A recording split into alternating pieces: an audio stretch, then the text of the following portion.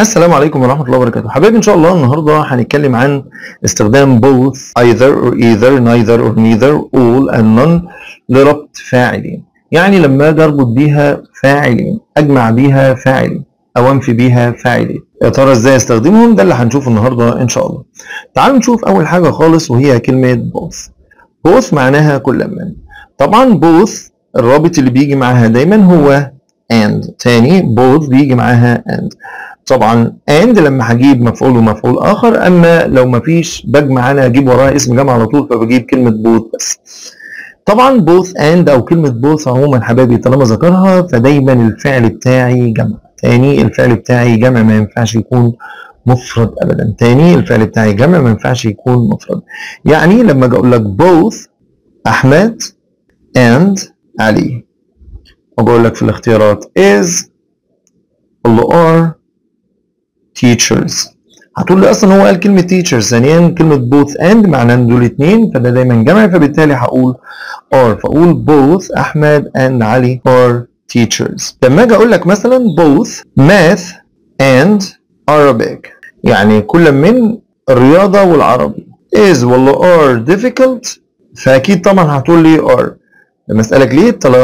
تقول لي طالما both and فهجيب على طول الفعل جمع لما أقول لك both علي and هاني. كل من علي وهاني لاحظ بقى اللي جه مع both and.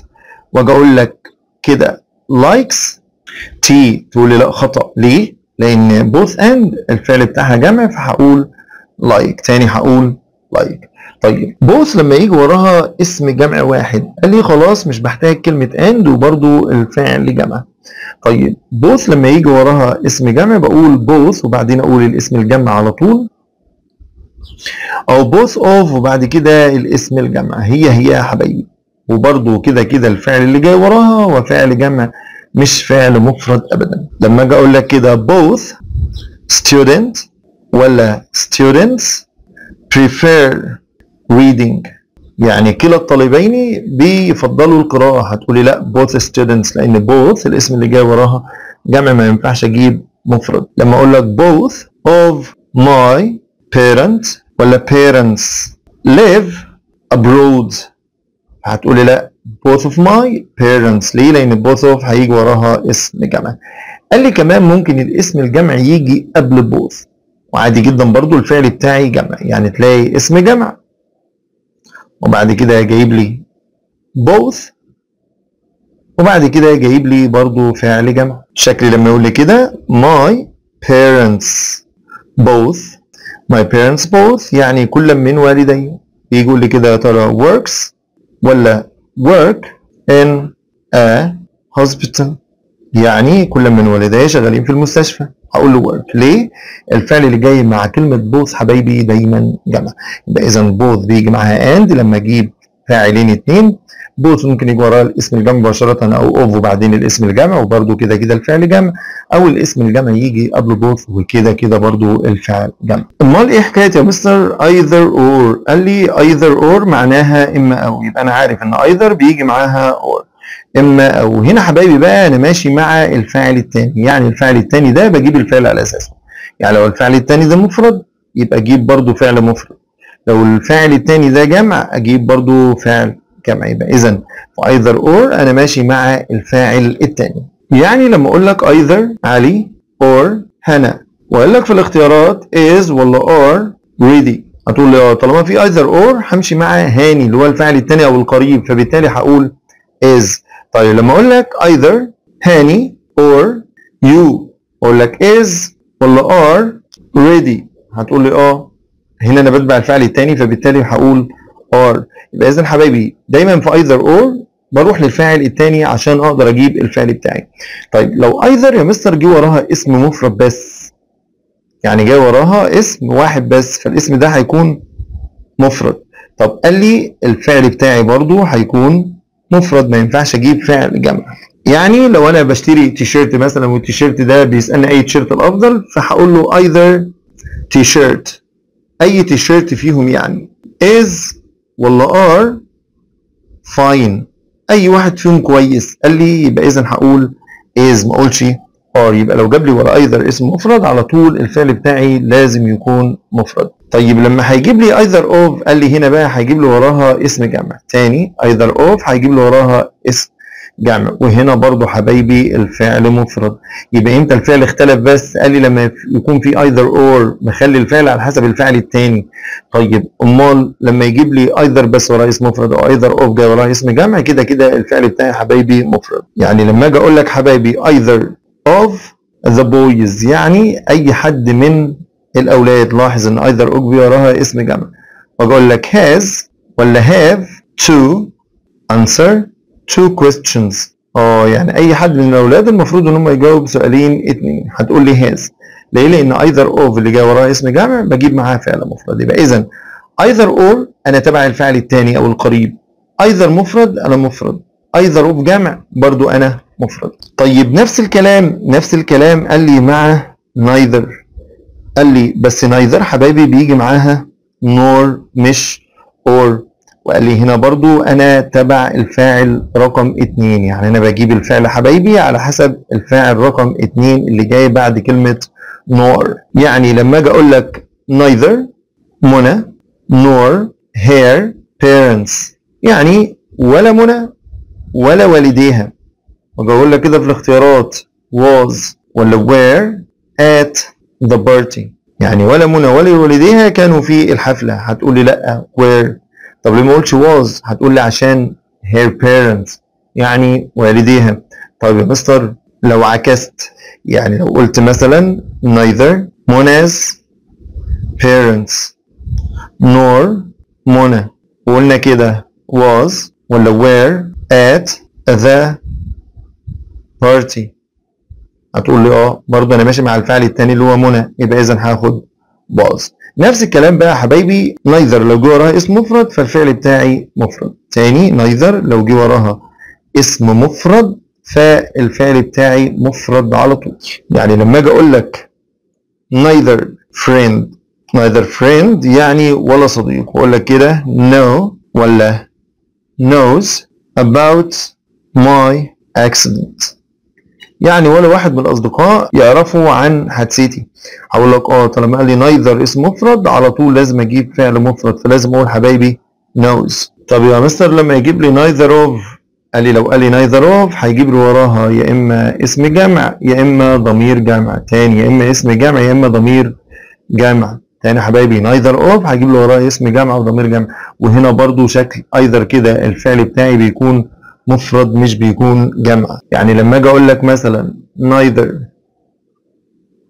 of these films يعني ولا واحد من الأفلام دي وأجي أقول لك في الاختيارات is ولا are interesting. يعني ولا واحد من الأفلام دي شيق. هتقول لي آه طالما قال لي neither of هنا ما يغرنيش الاسم الجمع أجيب are لا لازم أجيب is فأقول neither of these films is interesting. طب حبايبي الضمير اللي بيجي بقى بعد either of أو neither of تاني الضمير اللي بيجي بعد either of أو neither of قال لي دايما بيكون ضمير مفعول ما ينفعش يكون ضمير فاعل وبرضه الفعل اللي جاي وراه مفرد. يعني لما يقول لي neither of them ولا neither of they أقول له لأ neither of them خلي بالك ضمير إيه؟ مفعول ولازم يكون ضمير مفعول جمع مش مفرد. يعني ما ينفعش أقول neither of him. غلط. يقول لي neither of us ولا neither of we. أقول له لا neither of us. خلاص؟ برضو لو قال لي neither of you يبقى أنا عارف إن you دي جمع مش مفرد. وبرضو نفس الكلام الفعل اللي جاي وراها لازم يكون مفرد مش جمع. لما يجي يقول لي كده neither of they. ولا them ويديني في الاختيارات برضو is ولا are married. يعني مفيش ولا واحد منهم متزوج. فأقول له آه. Neither of هيجي وراها ضمير مفعول ما ينفعش يجي ضمير فاعل.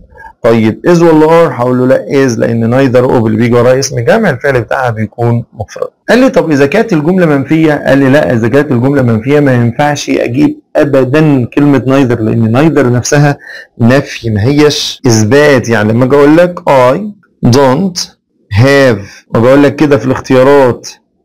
either ولا neither. pens or ولا nor. books. آه يعني أنا مش معايا. ولا أقلام ولا كتب. هتقول لي لأ طالما جبت نافي اوعى تجيب نايذر هقول ايذر وطبعا ايذر هيجي معاها اور مش نور تعالوا حبايبي بقى نشوف كلمة all. و all دي معناها كل. وقال لي all دي بقى على حسب الاسم اللي وراها. جه وراها جمع. فالفعل جمع. جه وراها مفرد. فالفعل بتاعي برضه مفرد. طب جه وراها لا يعد. فالفعل بتاعي برضه يا حبايبي إيه؟ مفرد. يبقى تاني. all جمع يبقى جمع. all مفرد يبقى مفرد. all لا يعد يبقى مفرد. يبقى خلي بالك all ممكن يجي وراها كل الأسماء سواء مفرد أو جمع أو لا يعد. لما أجي أقول لك كده يا حبايبي all my students. كل الطلبة بتوعي is ولا are clever. هتقول لي آه. all هنا جاي وراها اسم جمع فلازم آخد جمع. لو قلت لك all my money يعني كل فلوسي was ولا were stolen. هتقول لي لأ all my money was stolen لأن الماني اسم لا يعد. لو قلت لك كده يا حبايبي all the bag. all the bag يعني كل الشنطة. وقلت لك is ولا are black. هتقول لي لا. all the bag يعني كل الشنطة سودة. يبقى is black. طب إيه الفرق بقى يا مستر لما هيقول لي all of مع ضمير جمع أو مع اسم جمع؟ ونيذر أو either of لما هيجيب لي وراها نفس الكلام اسم أو ضمير جمع قال لي الموضوع بسيط جدا حبايبي. قال لي هنا all of لو جاب لي وراها جمع يبقى اذا الفعل بتاعي جمع طب neither of أو either of لما هيجيب لي وراها جمع يبقى الاسم بتاع الفعل بتاعي سوري مفرد. تاني الفعل بتاعي مفرد. مثال لما يجي يقول لي all ولا neither ولا either of the students love English. ابدأ هنا يقول لي اختار. عادي بقى ما كلهم بيجوا وراهم اسم جامع بس هي المشكلة فين؟ في الفعل. either of neither of عايز فعل مفرد لكن all عايز جامع فبالتالي هختار all of the students يعني كل الطلبة. تعالوا بقى حبايبي لآخر حاجة وهي كلمة none. و none دي معناها لا أحد من. تاني none دي معناها لا أحد من.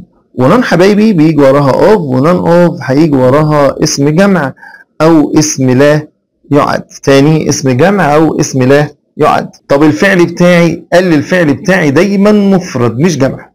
تاني none of جاي وراها على طول فعل مفرد مش فعل جمع. يعني لما أجي أقول لك كده none of my sisters آه يعني ولا واحدة من إخواتي. وأجي أقول لك is ولا are a doctor. هتقول لي آه. طالما قال لي none of كده كده لازم أجيب الفعل بتاعي مفرد فلازم أقول is. طب إذا كان ضمير قال لي برضه هيبقى ضمير مفعول وجمع. يعني لما يجي يقول لي كده none of them.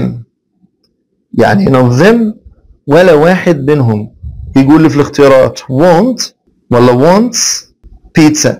آه ولا واحد منهم يريد بيتزا أقول له آه none of. الفعل بتاعي على طول مفرد فلازم أقول none of them wants. يبقى none of الاسم اللي جاي وراها جمع. أو اسم لا يعد. الضمير دايما ضمير مفعول. طب الفعل الفعل بتاع حبايبي لازم يكون مفرد. يعني هو ممكن يجي وراها. اسم لا يعد. هقول لك آه. لما أقول لك none of this information ما أقول لك في الاختيارات is ولا are important. يعني ولا حاجة من المعلومات دي مهمة. هتقول لي آه is. كده كده none of الفعل اللي وراها مفرد وبكده يبقى أنا عرفت الفرق بين both and either or neither nor all وكمان كلمة none لما بيربطوا بين فاعلين thank you very much for watching but don't forget like share subscribe and don't forget the bell so that you can watch all our episodes يلا لو عجبتك الحلقة ال like بتاعك الجميل و share لكل زمايلك عشان الكل يستفيد bye السلام عليكم